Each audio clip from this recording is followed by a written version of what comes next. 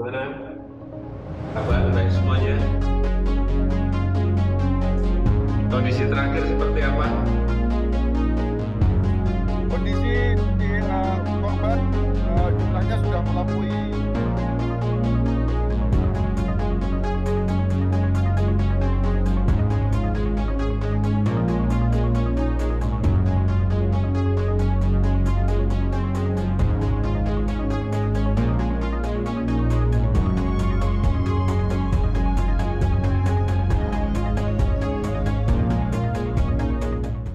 Gimana?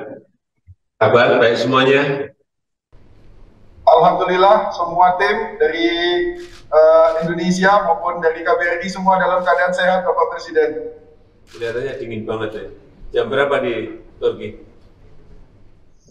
Dingin banget Bapak Presiden. Ini tiga derajat di sini tapi rasanya kayak di kulkas Bapak Presiden. Ini jam 5 pagi. Jam 5 pagi.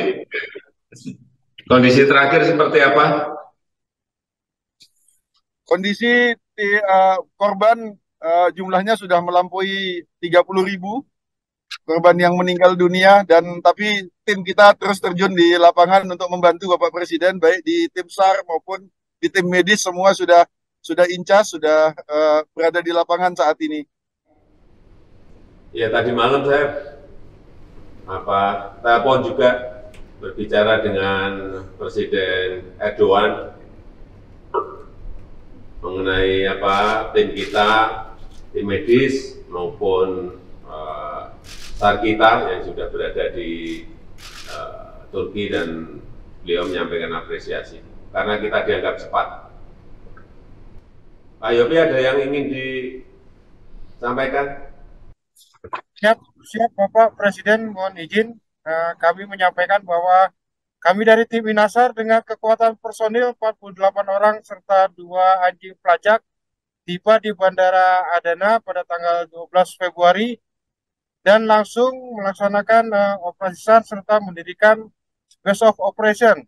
Kami telah melaksanakan pencarian di tujuh wilayah yaitu di Sumeriahma, Antakya, Haraparasi, Sebrel, Cekmese, Esensit, dan Elektrik.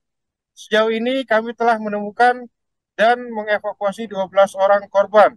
Selain itu juga kami telah menempatkan dua personil sebagai reception and departure center bagian dari PBB untuk menerima ke kedatangan dan kepulangan dari tim user internasional serta satu orang di user coordination cell sebagai pusat koordinasi operasi SAR internasional di Turki.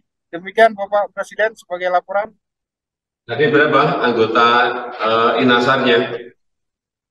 48 orang dan dua anjing pelacak, izin Bapak Presiden. 48, oh ya, banyak juga. Ya. Siap, Bapak. Ya, semuanya terima kasih.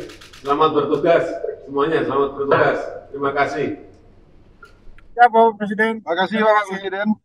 Hati-hati.